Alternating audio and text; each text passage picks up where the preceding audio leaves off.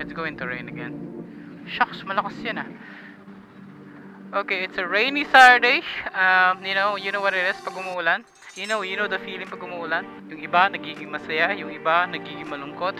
And me right now is bored. I'm thinking, since I'm bored, let's swap this click to NMAX.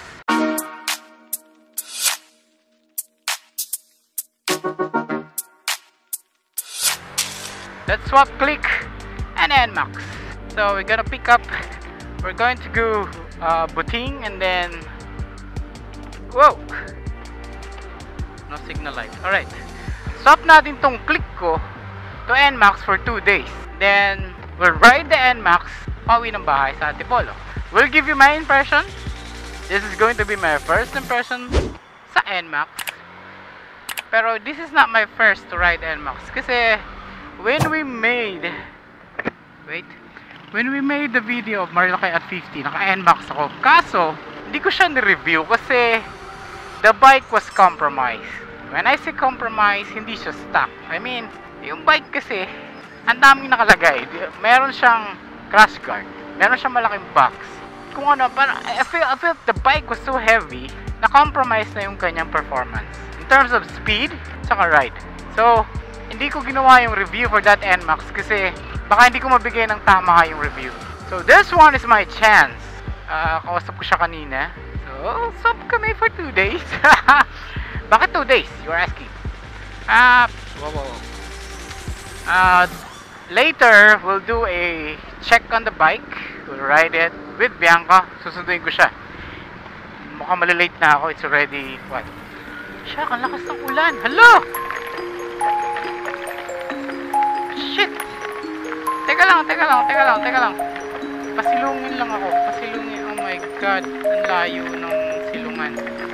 I have to cover my camera because yung microphone nakalagay. So, hindi siya sealed. Ah! This is crazy. This is crazy. Teka lang, ha? Teka lang.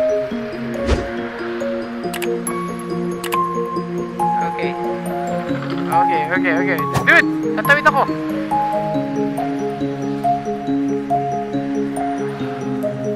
So, sabi ko kanina, di ba? You feel happy, you feel sad. Now, I feel like I'm in danger. I'm in danger uh, to crash, I'm to get sick, especially to get wet. Sana mag-survive yung camera natin. No water, please. I need you, I need you, I need you, I need you. Ano yun? Ba't, anong klaseng ulan yung ganun? Binasalang yata ako sandali. Okay, let's continue. We're gonna do swap. Kinda wet. Uh, we're gonna do swap and then I'll do a review from here to Antipolo. Uh, let's see how it is to ride with NMAX. Not compromised NMAX. Oh, my camera's still alive. I really hope so. Sana walang water, no? Sana gumagana. Okay. Makikita daw kami sa Buting 7-Eleven Shakey's. Okay, where is it? I have my raincoat pala. It's right here. Kaso, naka-plastic kasi yung lagayan hindi ko mahanap. And alam ko kasi yung NMAX, malaki yung compartment. So, pwede ko siya ilagay doon, di ba? And the sun is up. What the heck? What's wrong with you? You're confused, man. You're confused. I am confused. We're both confused. Okay. Okay. Shakies! There are shakies. There are shakies. Now, we just need 7-Eleven to complete the, the to complete the puzzle, right? 7-Eleven, shakies, that would complete the puzzle. Walang ulan dito! Oh, there's NMAX. There's NMAX. Yeah, yeah, yeah, yeah. nice. See? It's not compromised bike. Stock. Only the mirrors. Like the mirrors. So, swap kami ng bike. This is NMAX 155 ABS. ABS, diba? Both? Alright, so swap sa click ko. And then, for two days, right? For two days tayo mag-swap. We're gonna see you tomorrow, di ba? Ha? Magkikita tayo bukas sa bundok. Ah. Dadalhin mo to. Bro, walang gas yan eh. Kasi, umuulan dun eh. Oh, so, swap kami. So, paano ba to? How do you open the chair? Oh! Okay. Okay, it's empty. I told you, kakasya yung raincoat natin. Ha? Yung akin, wala nang pinipindot.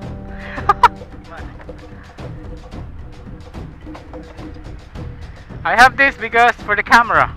Oh, di ba? That's a huge U-box. Then we'll put our raincoat here. So, kita tayo tomorrow mga around 7. Nice! This is good. Kasi kanina, sabi ko, nag-drive na ako ng NMAX kaso compromise eh. Yun yung klaseng NMAX na merong mga crash guard, may mga boxes, sobrang bigat. So, hindi na, hindi na, hindi mo na makukuha talaga yung totoong ano niya, yung feel niya. Ito basa. Dinala ko to kasi alam ko babagyuhin ako eh. Meron bang style to? Eto? Ayaw nga ano. Ay ganon? So hindi siya... Ah, okay. That's cool. Oh, there. Alright. Sige, sige. Bukas. Kita tayo. Bukas na lang. Bigyan kita ng panggas niya na sa akin. Eh, eto pala. Gagamitin ko naman. Gagasam ko nga eh. Gagamitin ko naman po eh. Okay. Dito ko na lang ilagay. Sige, bro. Bukas na lang. Bukas po. Alright. Thank you. That was nice. Okay, let's go. Wow!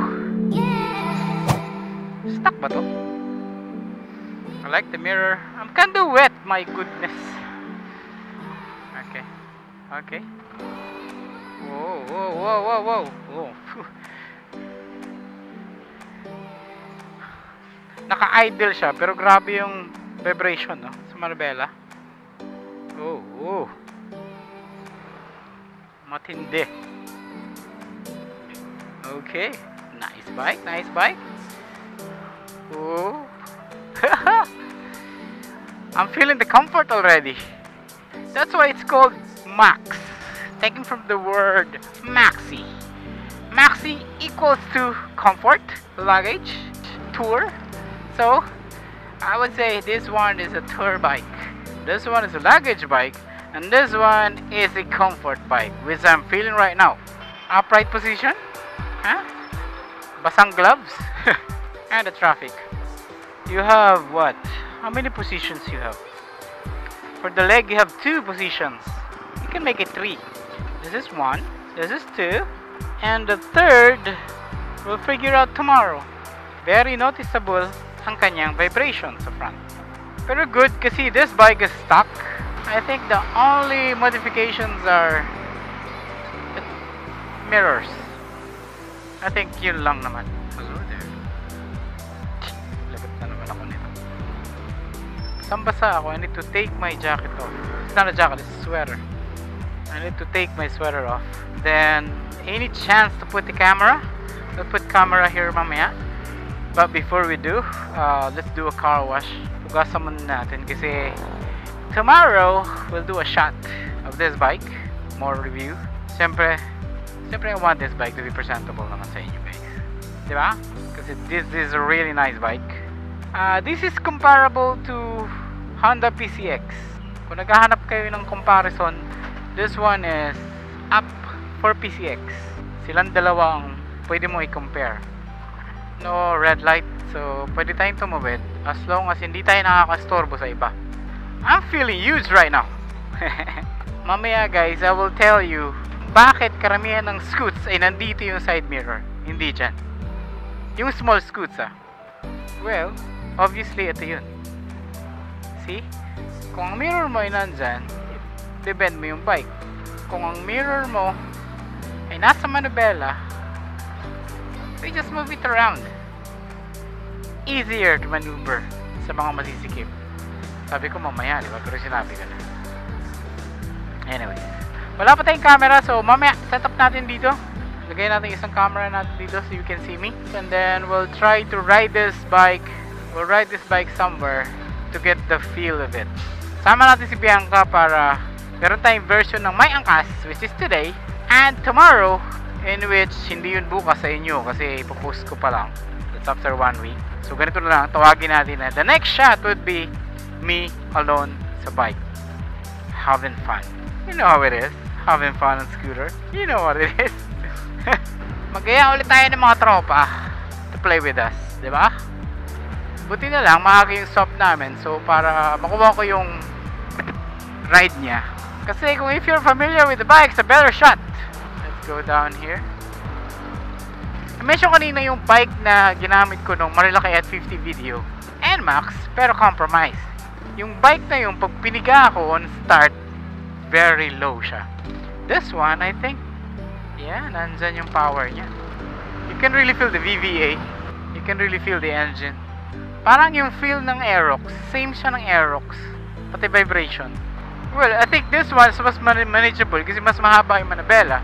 Yung Aerox kasi maiksi, stiff yung manabela, plus vibration. Pero pogi yun, brother. Pogi talaga si Aerox. Hmm? Hmm? Nice abs. Wow. Can really feel the power here. Oh yeah, oh yeah. Okay, see? So meron difference. A huge difference from Aerox. But I will tell you about it dun sa ride. Ride review natin. But this one, we just feel the bike. Let's just have some fun with this bike today. Feeling it. Ano bang meron?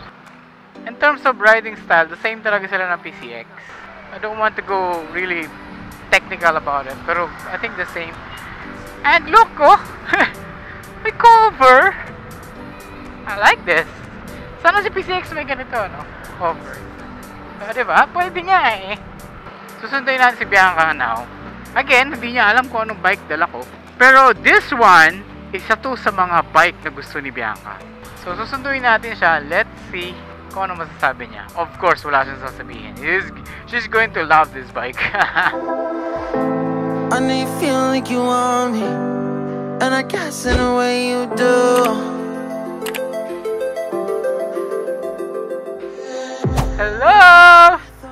Hey, beautiful. Hey, beautiful. It's NMAX. Think this through. Call me long.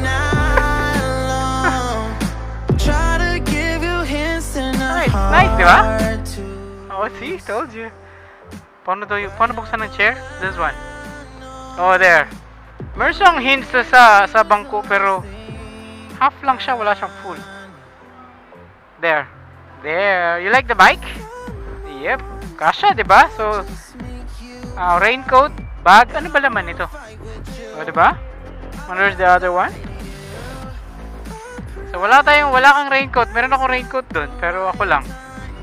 Okay, let's go. Okay na? Alright. Let's go home. Ha? Hindi, hindi. Uh, she's asking me kung bakit hindi ako nag-raincoat. Di ako nag-raincoat kasi wala kang raincoat, so para fair.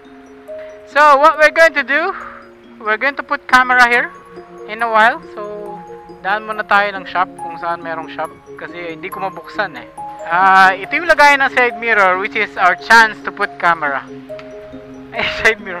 Ah, that's a modification. I- Originally, ang side mirror nandito. Hindi yan. So, that's a modification. So, how are you there? Mataas ka? Mataas siya. Oh. Mataas ka? Nakakita, nakakita ka ng buo. Okay, I'm gonna ask you. Sa angkas, yung position mo ha, which is better? PCX or this one? Okay, guys. Mas okay daw umangkas sa NMAX kasi mas mataas siya. Tama? Yung view mo, yung view daw niya. Ibig sabihin, mas mataas siya sa akin. Hindi na siya kailangan tumagilid, tama? Okay, okay, gotcha. So, better, better? Okay, I want you to notice the vibration, ah. Kasi kanina ko pa naramdaman, hawakan mo manabela. Abot mo ba? Di ba? Malakas yung vibration ng manabela. Pero, so far, yun lang naman ang napapansin kong vibration. Wala siyang glove box. Walang glove box. Check natin mamaya na lang, no? It's a bit heavy though, for me. It's a bit heavy than the PCX. Yung pag-turn, medyo may bigat siya. Ha? Para, yung Vespa? Ay, yung Vespa. Ah, sumasahay daw yung paa niya sa gilid ng fairing. Naalala mo si Vespa? Hmm, okay, cool. Okay, may kanina, pansin ko yung power niya. Ngayon may angkas, may angkas na. Halos the same pa din. Hindi man nagbago, malakas pa rin. So tama lang talaga na hindi ko ni-review yung NMAX na ginamit natin sa Marilaki at 50. Compromise talaga yon. This one is, you get the real feel. Malakas din to ah. Naalala ko si Aerox pag pinipiga ako, parang ganito din eh. Parang kang may kargadong motor. Wem! Wem! Bom! Bom! Rinig na, naririnig mo yung makina? Lakas, no? Ha? Maingay? Maingay yung makina? Which is very normal kasi yung Aerox ganito rin yung tunog eh. Nahirapan akong pumindot kasi oh, masyado maliliit yung mga ano, buttons. Pindot ko kanina, na-delay pa ako. Matagtag ka dyan sa likod. Okay. Yun na yung sagot sa tanong natin kanina. Matagtag daw siya sa likod. Pagka ma-vibrate, ang impact nito pag nag-long ride ka, ramdam mo yun sa katawan mo. Pero may mga may mga scooter na smooth talaga. And we had one few weeks ago. I-compare ko ang NMAX sa PCX versus traffic, I'll go for PCX. In terms of power, yung arangkada, that would be NMAX. Ramdam mo, ayan, no? Woo! If you guys can see it, our dash, right there, medyo dark siya. I don't know kung ano ba to, may film ba to or what? Medyo dark siya. I, I'm not sure if I can like change the lights. Kasi mukhang hindi na natin magagawa yun kasi kulang tayo sa kulang tayo sa days. So let's just focus on what we have right now. We have we have speedo, we have the clock, kilometer per liter, fuel. Ano yung isa?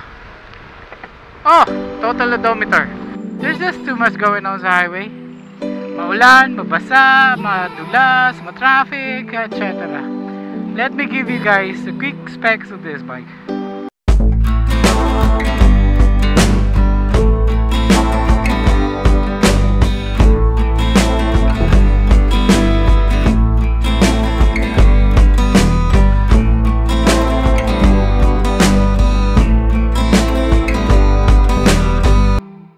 The NMAX, the younger brother of T-Max and the half bro of X-Max. This bike has been out since 2015, it's been a while, currently dominating the population comfort scooter within the range of 155cc and down. So far, this is the only scooter having two abs front and back in this category as of today.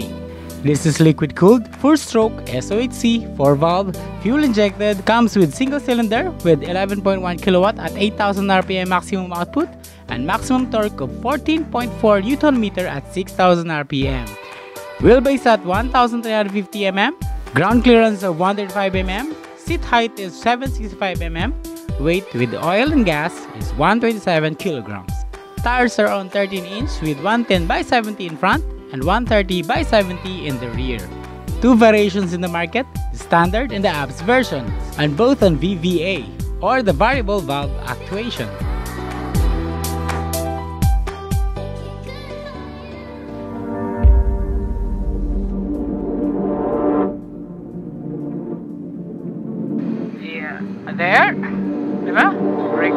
Our camera already. We're live? Okay na? That's cool. Let's go. Let's go home. Ano? Guys, sabi niya sakto daw siya. It's now like the director of this. Oh, really? Okay, let's go na. Now we have our camera there. Come on, let's go. So this is our first real experience with NMAX. And this is your first ride with NMAX, right? So we have our camera there. Camera here. Okay, so right now, we'll go up to Antipolo. There's just too much traffic. So what we have in our short experience with NMAX, first hand was the vibration. Okay, the power. We compared it to PCX. Yes, it is way powerful than PCX. On the next shot, we'll do a ride review start to end with the boys. Tama natin sila. Right now, we are just exploring the bike. Pagkakit ng tikling, hindi naman natin talaga kayang gawin yung speed kasi umuulan. So, we'll just do it on the ride review. Sana hindi umulan sa ride review. So, anong gusto ni Bianca? Anong gusto mo? Mas mataas ka sa akin. Nakita ka na ngayon sa camera. Say hi. so, yun ang gusto niya. So, sabi niya, mas gusto niyang umangkas dito kaysa sa PCX because mas mataas siya. Ang ayaw niya naman is vibration. There's just too much vibration. Well, for me, it's very comfortable. That's why it's called Max, T-Max, X-Max, N-Max, S-Max. Though, if I compare this again to PCX, this is heavier than the PCX. Mas magaang si PCX compared dito. In terms of liko-liko, handling the handlebar, pero yung power niya, sa ride review mararamdaman talaga natin. Sa tingin ko kasi magkakaroon tayo ng chance na bitawan tong bike. I get this bike to the max. Because it's called Max.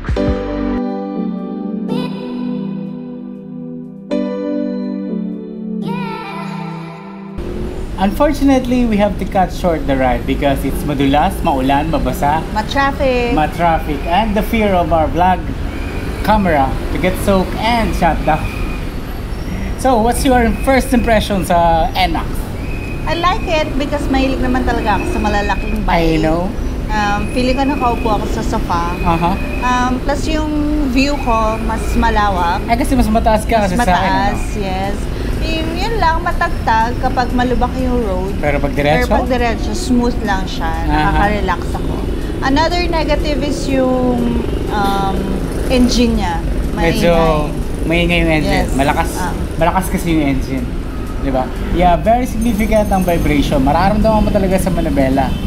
But the ride was so comfortable from your foot to your arm due to its riding position, the upright seating position. I would compare the engine similar to the Aerox. I would compare the bike similar to the PCX. We wanted to give you more kaso the weather is just too much. Yeah, you know what's here in that two wheel. So, kita-kita tayo sa episode 2. We will take Max to the mountain along with the boys, along with our scooters. So don't forget to subscribe. We will see you again.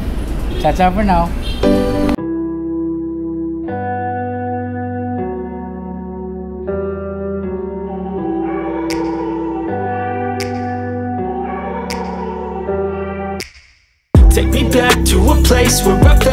Home. Take me back to a day when we weren't alone. Take me back to an age when the world felt small. Way back before we blew it all. Take me back to a place where I felt at home. Take me back to a day when we weren't alone. Take me back to an age when the world felt small. Way back before we blew it